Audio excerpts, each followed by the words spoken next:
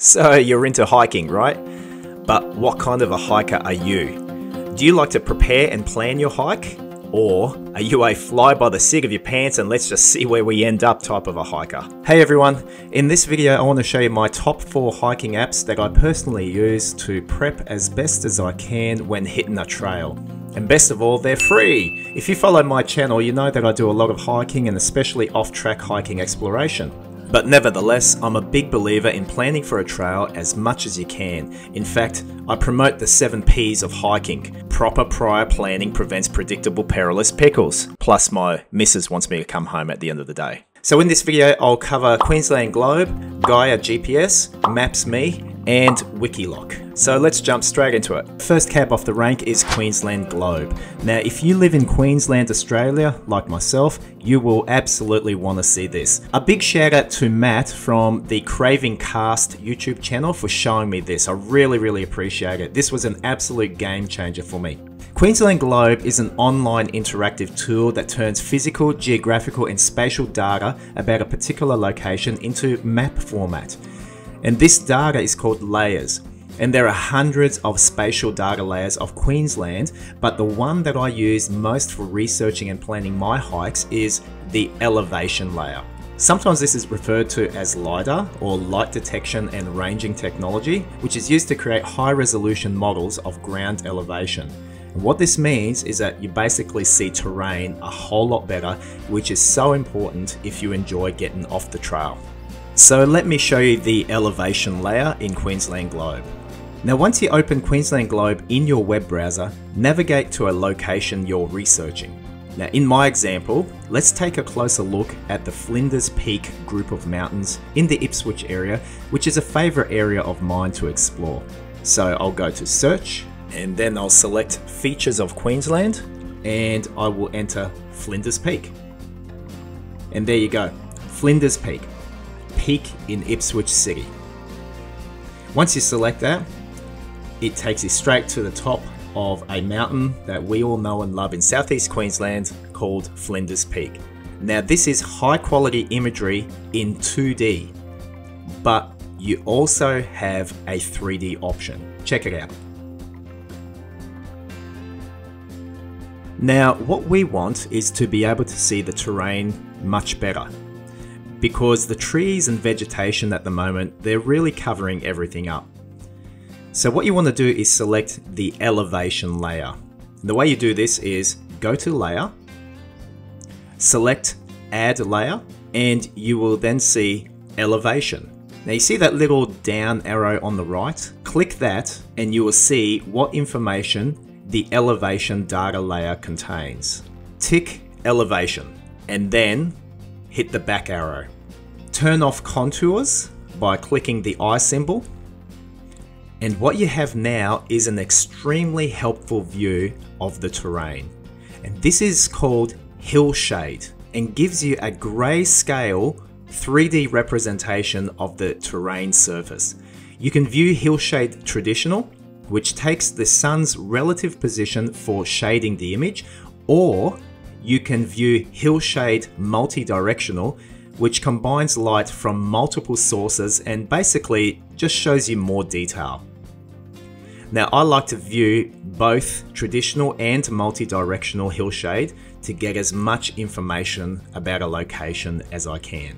Now this gets even more powerful when you turn on the 3D function but it does slow things down on the computer, so it all depends on what kind of processor and graphics card you have. But it's a very helpful way to view the terrain that you're planning to explore.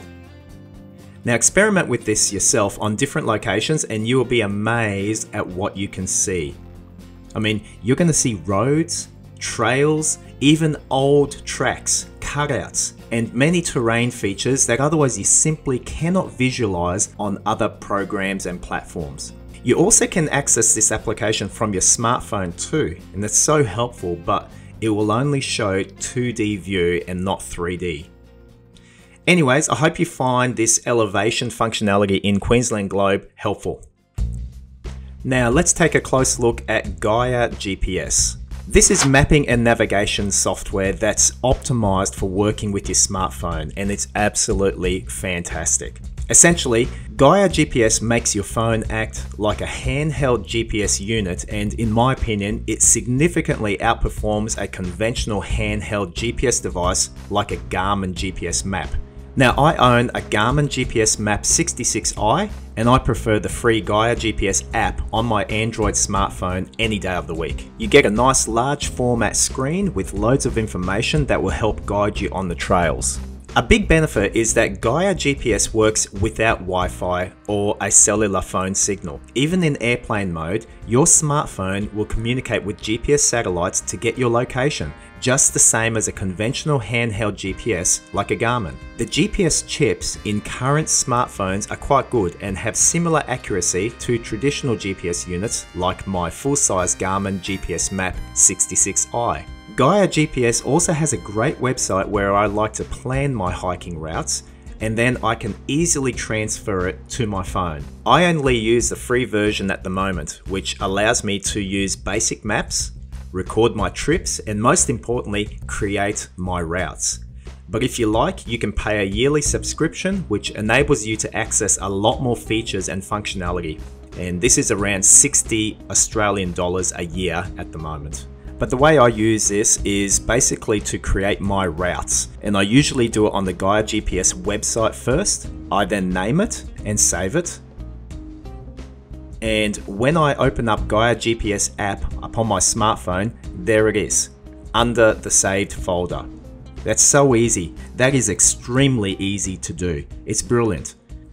And then when I'm at my actual hiking location, I use Gaia GPS on my smartphone and can follow my planned route. I can also easily create routes from my phone on this app, but I much prefer doing it on my computer first because I can see the terrain, hillshade imagery, and therefore plan so much better for my adventure. Something else that can be helpful on Gaia GPS is the public tracks overlay. Now up on the Gaia GPS map, these are viewed as green lines. Now this is helpful because it actually shows tracks that people have walked before and have uploaded onto Gaia GPS. You can turn these public tracks on and off in the Maps Overlays section. The free version of Gaia GPS is very powerful on your computer. It's got different maps available, terrain contours, 3D functionality. I just love this program and also the smartphone app, so be sure to check that out. And now let's move on to Maps.me. Maps.me is a completely free app for your smartphone and unlike Google Maps, Maps.me has the benefit that the maps are completely offline. So no internet connection is required. This can be incredibly handy when you don't have access to a mobile phone tower or if you're traveling in a different country. You will not be tethered to needing data. I've been using Maps.me for quite a few years now, primarily because it shows many of the main trails around the places that I may want to explore. And this is where this app shines in my opinion. Recently, I visited the Grampians National Park in Victoria. Forget the Tourist Information Centre, they had no idea on decent hiking trails out there. They did have some very generic trail maps to give out to tourists, and I personally find those trail maps very useless. So I turned to Maps.me and it showed me where the trails were, it showed me the lookouts, waterfalls, and other features as well. Take my word for it, you will want this app on your phone. Whether you're backpacking, trail running, hiking, or just walking in the new city or driving, this app covers roads, bicycle paths, typical footpaths, mountain biking trails, and hiking trails. And often it will list the trail names as well. Very, very helpful. It won't show terrain contour lines like Gaia GPS can, but you can select a mountain peak and you can find information on its elevation if you wish. This app has a lot of functionality and it uses OpenStreetMap data and simply works when Google Maps won't load up for you due to poor mobile phone reception or some other reason. It honestly has so much to offer, so be sure to check out Maps.me. I've also used this on my overseas travels and it simply works flawlessly no matter where you are. You just need to ensure that you download the map of the area you're planning to visit and once downloaded, It's on your phone and you're good to go. I think this is an essential app for hikers and adventurers, and I always use it for my outdoor trekking. And last of all, I'll just mention briefly Wikiloc. This is basically a big worldwide trail database where people have uploaded trails with pictures, trail notes, you can access their GPX route if you want to follow it. Wikiloc has a website and also an app for your smartphone, and it's free. Or you can have a subscription plan which enables some more functionality upon your smartphone. I personally don't use it for following someone's route when I'm out in the field, but rather I use it for these two purposes. First of all, if I'm looking for a trail, I like to search the Wikiloc database first, and hopefully someone has uploaded a trail that might have a few pictures of what to expect, and more importantly, some trail notes. By the way, I absolutely hate it when people put up Wikiloc entries and can't be bothered writing some trail notes about it. Please, don't be that guy or girl. If you're going to put up a Wikiloc entry, then write some trail notes as well so it can help someone else. And the second way I use Wikiloc is to post up all of my public trails that I'm happy for others to view. I put up my trail notes there, the GPX routes, some pictures, but most importantly, because I do YouTube videos of my hiking explorations, I also place my video link in the Wikiloc description field and you can see my video of the trail if you wish. I'm a big believer that although notes are helpful, pictures are nice, I would much rather see someone else's video of a trail as I prep for a hike. So basically, I use Wikiloc as my public database of trails that I have hiked so that it can help others explore the great outdoors. So be sure to check out my Wikiloc channel and it's simply called Jelbuilder.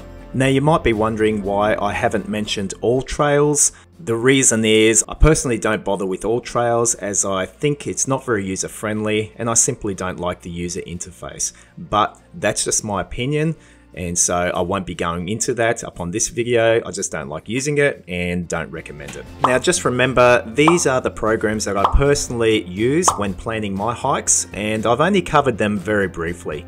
Let me know in the comments below if you found this helpful or useful or if you'd like to share what programs or apps you personally use when preparing for your hiking. Thanks again for watching the video as always, catch you on the next one.